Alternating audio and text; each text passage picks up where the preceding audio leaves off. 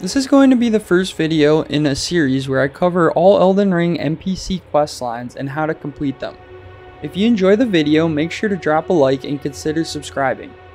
Jar Bairn's quest takes place in Jarburg, an area that many players may have missed when first playing the game. Jar Bairn's quest ties into both Alexander the Warrior Jar as well as Diallos' quest lines. Through the completion of Jar Bairn's quest, the player will acquire Diallos' mask, Hoslow's Petal Whip, as well as the Companion Jar Talisman. Without further ado, let's get into how to complete Jar Bairn's quest.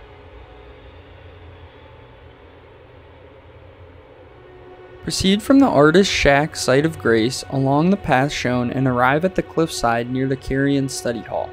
From there, begin your descent down, carefully platforming along the slabs until you finally reach Jarburg. Here is where the entirety of Jar Bairn's quest will take place with the exception of the overlapping quests of Diallos and Alexander the Warrior Jar. Pick up the grace site within Jarburg as you will need to rest after you exhaust each step of Jar Bairn's dialogue to advance the quest.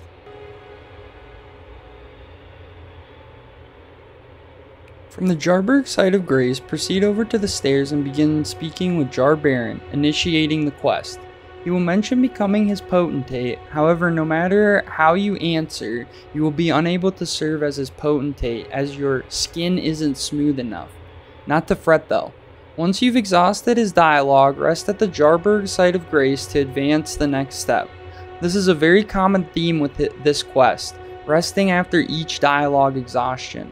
Once rested, you can return to him to continue advancing the quest.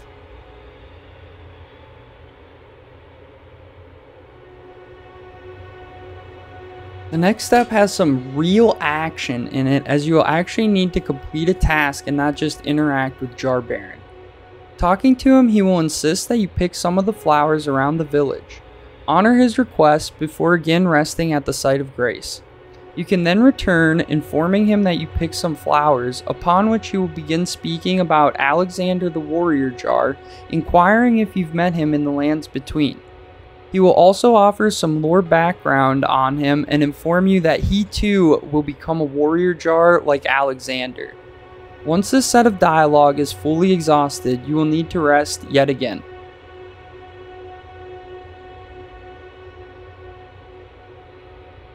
Return to talk to him for the umpteenth time. This time during the conversation, he will mention how poachers hunt jars and take them away to smash them, hence why Jarburg is so hidden.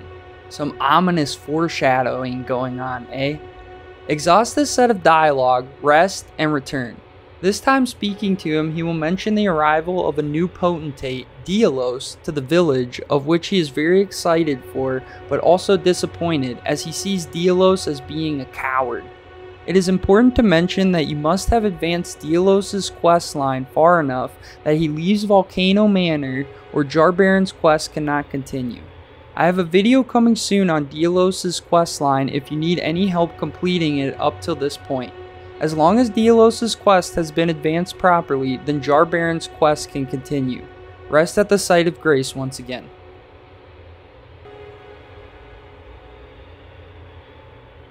After resting, you can now proceed to the far end of the village to find Diallos in a shack, tending to some jars. He will tell you how he left Volcano Manor and came here to Jarburg. Exhaust his dialogue before reloading the area via a site of grace. Once you reload the area, you can visit Jar Bairn again to find him fast asleep. Interacting with him does nothing as he would just mutter some nonsense in his sleep.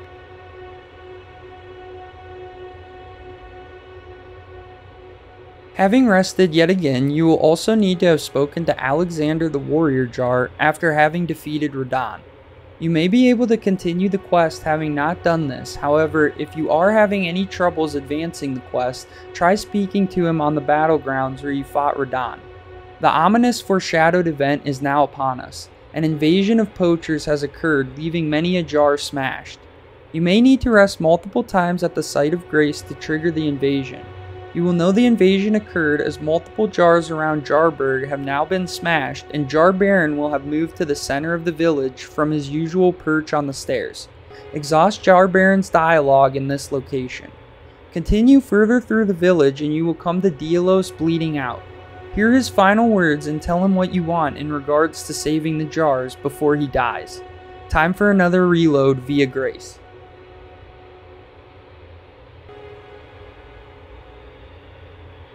Once reloaded, run back over to Diallos's body where you will find Jar Bairn stuffing Diallos's remains into himself. Exhaust his dialogue and reload the area yet again. Reloading the area will not only move Jar Bairn back to his stairs, but also despawn Diallos's body. Where his body once was will now be a pickup containing three items. Diallos's mask, Hoslow's Petal Whip, as well as a Numen's Rune. Reload yet again. At this point, you will need to have completed the entirety of Alexander the Warrior Jar's quest line and obtained his innards to complete Jar Bairn's quest. I have a video on Alexander's quest on my channel that you could check out should you need any help completing it. This will be the final time talking to Jar Bairn. It's bittersweet, I know. Gifting Jar Bairn Alexander's innards that you obtain by completing Alexander's quest will finish Jar Bairn's. You can now rest at the site of grace one final time, which will despawn Jar Bairn, and in his place there will be an item. Collect the companion jar talisman, obtaining the reward for completing his quest.